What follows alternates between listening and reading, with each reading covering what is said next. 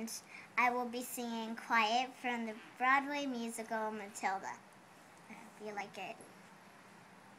Have you ever wondered, well I have, about how when I say say red, for example, there's no way of knowing if red means the same thing in your head as red means in my head when someone says red, how if we are traveling at almost the speed of light, and we're holding a light, that light would still travel away from us.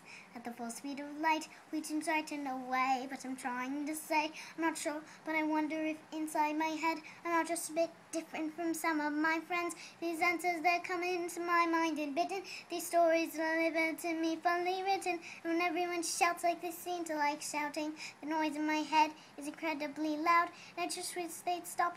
My dad and my mom and the telly and stories would stop for just once. I'm sorry, I'm not quite explaining it right, but this noise becomes anger and the anger is light. It's burning inside me, which usually fade, but isn't today.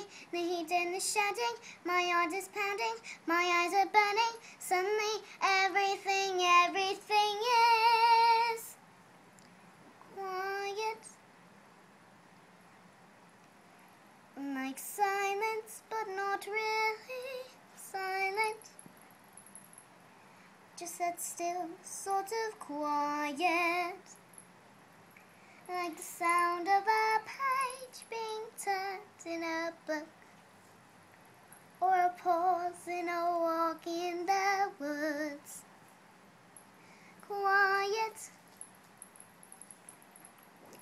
like silence, but not really silent. Just that nice kind of quiet like the sound when you The sound your heart in your head. And though the people around me, their mouths are still moving, though the words they are forming cannot reach me